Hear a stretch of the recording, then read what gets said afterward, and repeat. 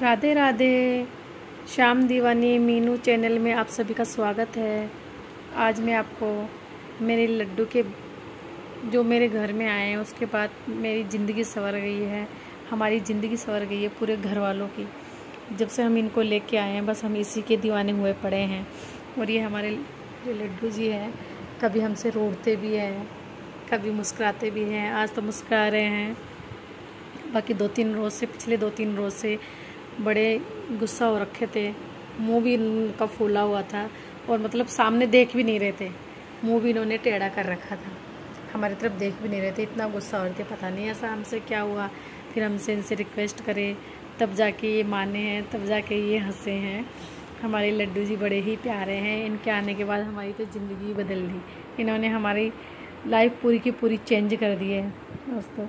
मैं आपको इनकी दिनचर्या भी बताऊँगी, इनकी रूटीन भी बताऊँगी, इनको कैसे भोग लगाते हैं, वो भी मैं आपको बताऊँगी।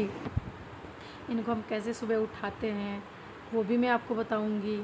और हमारे कान्हा जी कैसे कैसे लीलाएँ करते हैं अपने पापा के साथ, काम पे जाते हैं तो उनको कैसे ये बुला लेते हैं, वो भी मैं आपको बताऊँगी।